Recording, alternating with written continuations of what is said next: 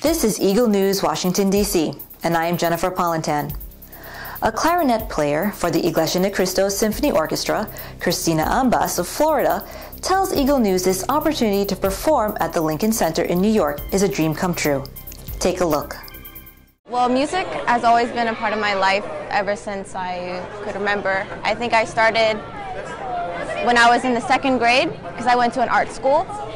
And um, without it, uh, I wouldn't have any way to express myself and um, make bonds and friendships with people that I probably would have never even crossed paths with.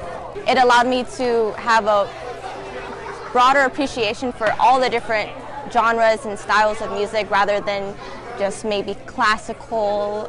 Um, I also learned how to appreciate modern music and different types of music from different countries and cultures.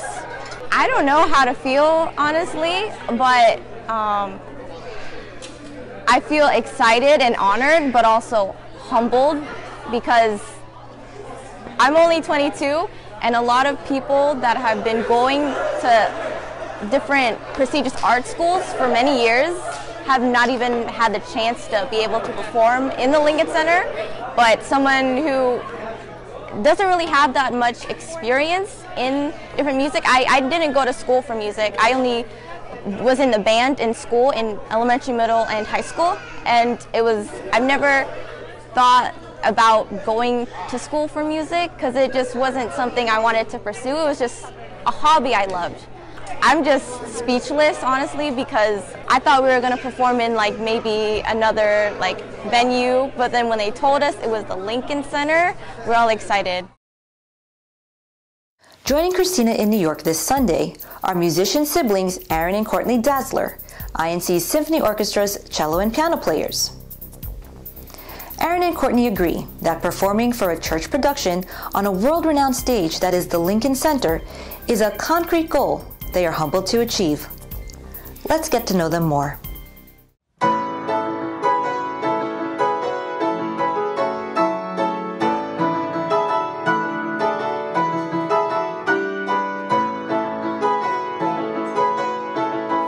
love for music has mostly influenced my life, um, foremost through the choir and the CWS choir, especially as we grew up um, learning to love to sing but also through our lessons, our music lessons. Um, for me, it was piano lessons that really allowed me to grow my love for music.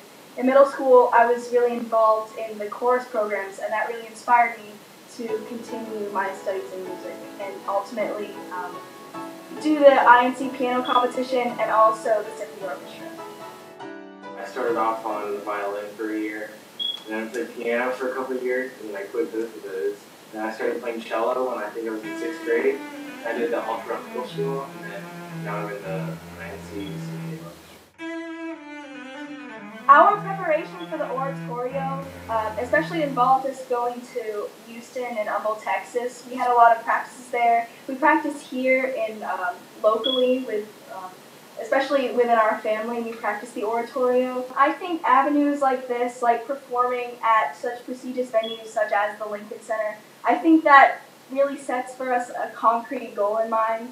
Um, we need, um, especially for our workshop, we need to set an example. We need to set a standard that um, we can put out.